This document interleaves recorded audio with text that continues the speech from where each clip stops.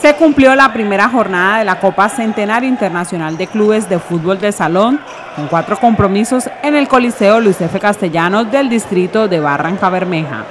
En el inicio del certamen intercontinental se marcaron 26 goles.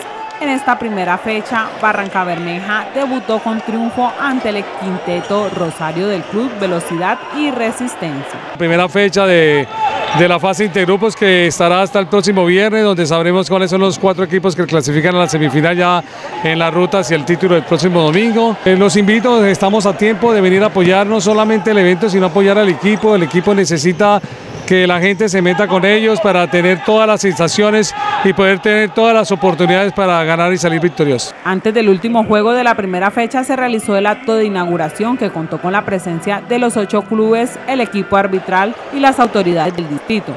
De esta forma, se dio apertura oficial al evento deportivo más importante en el año del centenario.